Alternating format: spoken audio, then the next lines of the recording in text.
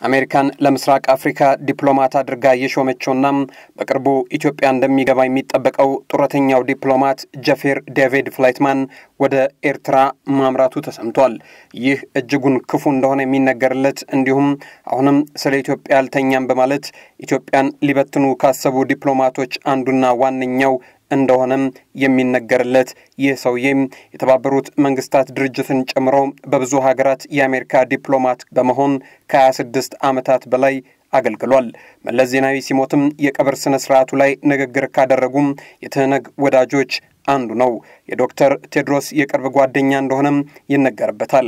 የአሌክሳንደር ሮንዶስም የቅርብ ወዳጅ ነው። ሰውየው አሁን ሲመጣ የተሰጠው ተልእኮ በዋናነት ድርድር እንዲሁም ደግሞ እርቅ የሚለውን ነገር እንዲያሳካ እንደሆነም ውስጥ አዋቂዎች ይናገራሉ። ይህ ካልሆነ ደግሞ ኢትዮጵያን በግጭት ለማተራመስና ዶክተር አብይንም ከማስገደል እንደማይመለስ ይናገሩበታል። ሰላም ጤና ይስጥልን። የተወደዳችሁና የተከበራችሁ የሸገር ኢንፎ ቤተሰቦች እንዴት አላችሁ? በዛሬ መሰናዷችን በዛሬው መሰናዷችን የአሜሪካው ልዩ መልእክተኛ ከፕሬዚዳንት ኢሳያስ አፈወርቂ ጋር ስላደረጉት ውይይት የምንነግራቸው ጉዳይ አለን። ለመሆኑ ይህ የአሜሪካው ልዩ መልእክተኛ ከፕሬዚዳንት ኢሳያስ ጋር ምን አይነት ውይይቶችን ተወያዩ? ምንስ ተነጋገሩ? የሚለውን በዝርዝር እናስደምጣቸዋለን። እስከ ፕሮግራማችን ፍጻሜ ድረስ አብራችሁን ቆዩም። ሸገር ኢንፎን share፣ like፣ subscribe፣ comment በማድረግ ቤተሰብ ያድርጉን። ሸገር ኢንፎ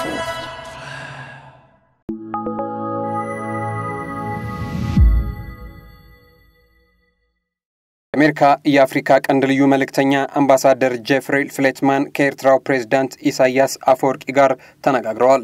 በቅርቡ በፕሬዝዳንት ጆ ባይደን የአፍሪካ ቀንድ ልዩ መልእክተኛ ሆነው የተሾሙት አምባሳደር ፍሌትማን በቀጠናው ወደሚገኙ ሀገራት ጉዞ ማድረግ መጀመራቸውም ይታወቃል። ፕሬዝዳንት ኢሳያስ አፈወርቂ የሁለት ቀናት የሱዳን ጉብኝታቸውን አጠናቀው ከተመለሱ በኋላም ከአምባሳደር ፍሌትማን ጋር ረዘም ላለ ሰዓት መወያየታቸውን የኤርትራ ማስታወቂያ ሚኒስትር አቶ የማነ ገብረ መስቀል አስታውቀዋል። አራት ሰዓት በቆየው ውይይት ፕሬዚዳንት ኢሳያስ አፈወርቂ በአፍሪካ ቀንድ ያሉ ችግሮችን ለመፍታት ኤርትራ ከአሜሪካ ጋር አብራ ለመስራት ቁርጠኛ መሆኗን ተናግረዋል ሲሉ የማስታወቂያ ሚኒስትሩ በትዊተር ገጻቸው ላይ አስፍረዋል። የአፍሪካ ቀንድ ልዩ መልእክተኛው በበኩላቸው በአሜሪካ ቀንድ ስላሉ ችግሮች የአሜሪካን አስተዳደር መልእክትን አብራርተዋል ሲሉም ገልጸዋል።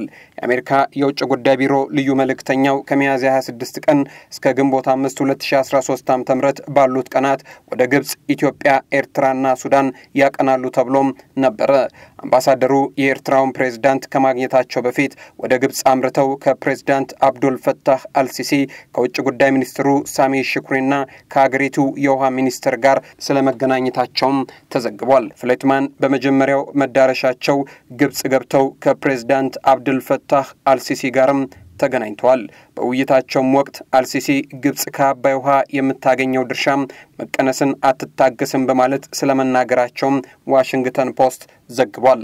አምባሳደር ፍሌትማን ከግብፅ ባለስልጣናት ጋር በነበራቸው ቆይታም የጆ ባይደን አስተዳደር በቀጠናው ላሉ አንገብጋቢ ጉዳዮች መፍትሄ ለመስጠት ትኩረት ያደርጋል ስለማለታቸውም ዋሽንግተን ፖስት ምንጮቹን ጠቅሶ ጨምሮ ዘግቧል። ለመሆኑ እኚህ ፍሌትማን ማን ናቸው?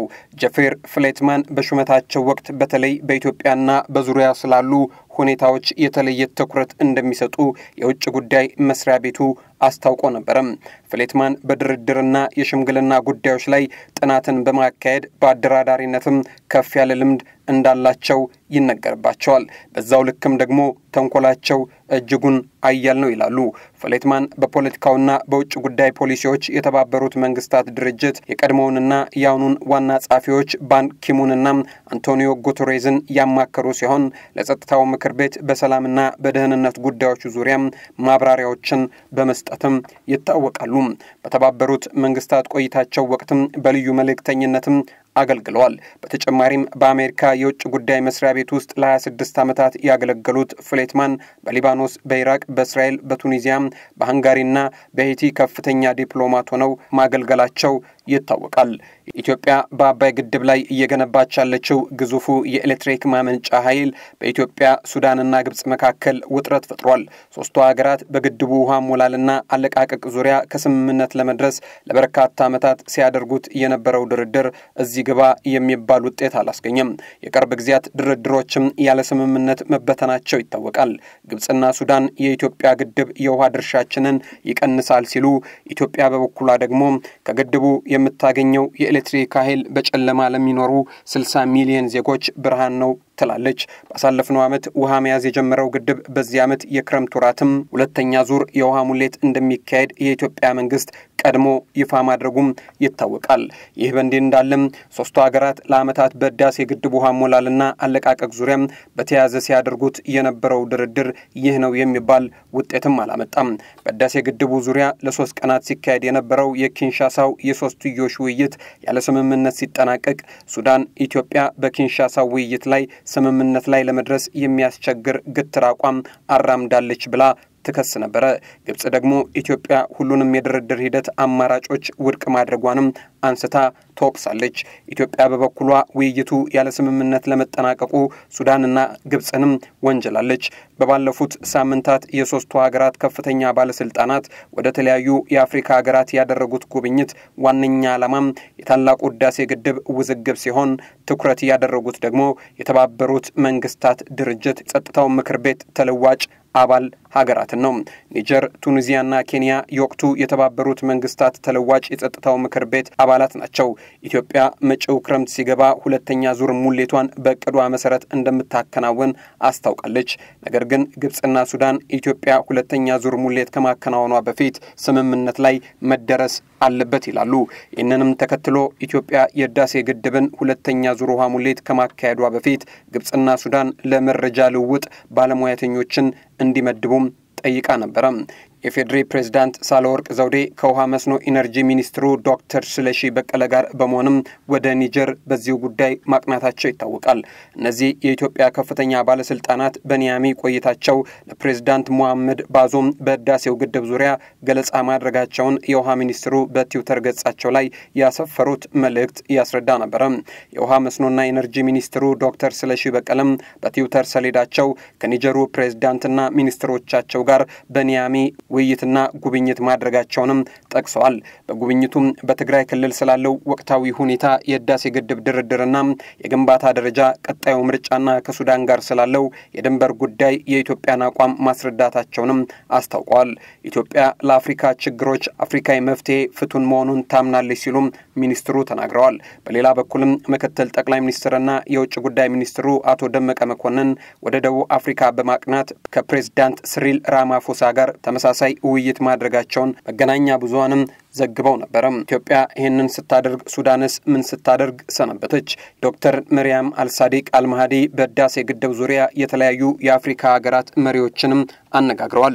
የውጭ ጉዳይ ሚኒስትሯ በቅድሚያ ያቀኑት ወደ ኬንያ ሲሆን ከፕሬዚዳንት ሁሩ ኬንያታ፣ ከኬንያ የውጭ ጉዳይ ሚኒስትር ራይቼል ኦማሞና በናይሮቢ ከሚኖሩ የሱዳን ማህበረሰብ አባላት ጋር መወያየታቸውም ተገልጿል። ከፕሬዝዳንት ሁሩ ኬንያታ ጋር በነበራቸው ውይይት ከግድቡ ጋር በተያያዘ ሶስቱንም ሀገራት የሚያስማማ ስምምነት መደረስ አለበት የሚል አቋም ሱዳን እንዳላት አንጸባርቅ ያለው ሲሉም የውጭ ጉዳይ ሚኒስትሯ በትዊተር ገጻቸው ላይ አስፍረዋል። የውጭ ጉዳይ ሚኒስትሯ ሩዋንዳ ተገኝተውም ተመሳሳይ ውይይት ከፕሬዝዳንት ፖል ካጋሜ ጋር ማድረጋቸውንም ገልጸዋል። ፕሬዝዳንት ሁሩና ፕሬዝዳንት ካጋሜ ከሱዳና የውጭ ጉዳይ ሚኒስትር ጋር በተገናኙበት ወቅት ከጠቅላይ ሚኒስትር ሐምዶክ የተላከ መልእክትም ተቀብለዋል። ኢትዮጵያና ሱዳን ይህንን ሲያደርጉም የግብፅ የውጭ ጉዳይ ሚኒስትር የተለያዩ ሀገራት ማቅናታቸው ይታወቃል። የግብፅ የውጭ ጉዳይ ሚኒስትር ሳሚ ሽኩሪ የግድቡን ድርድር በተመለከተም የሀገራቸውን አቋም ለማንጸባረቅ ወደ ተለያዩ የአፍሪካ ሀገራት ጉዞ አድርገው ነበረ። ሳሚ ሽኩሪ ከሳምንት በፊት ወደ ኬንያ፣ ኮሞሮስ፣ ደቡብ አፍሪካ፣ ሴኔጋል፣ ዲሞክራቲክ ሪፐብሊክ ኦፍ ኮንጎና ቱኒዚያ ተጉዘዋል። ምንም ሆነ ምን ኢትዮጵያ የሶስትዮሽ ድርድሩን በአፍሪካ ህብረት በአደራዳሪነት እንዲቀጥል ፍላጎት አላት። በቀጣይ የክረምቱ ወራት ሁለተኛው የግድቡ ውሃ ሙሌት እንደምታካሄድ ይፋ ያደረገችው ኢትዮጵያ በአፍሪካ ህብረት የሚመራውን አደራዳሪ ቡድን ወደ ጎን ማድረግ በሶስቱ ሀገራት መካከል አለመተማመን ይፈጥራል ትላለች። ግብፅና ሱዳን በበኩላቸው ሶስቱ ሀገራት ከስምምነት ሳይደርሱ ሁለተኛው ዙር የውሃ ሙሌት መካሄድ የለበትም ባይናት።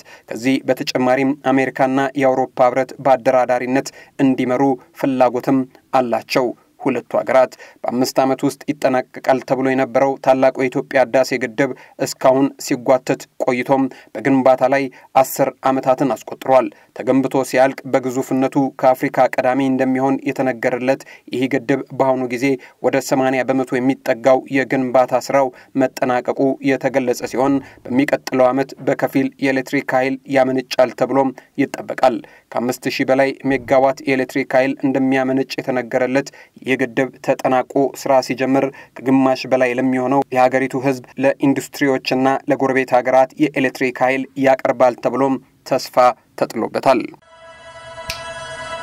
ሸገር ኢንፎ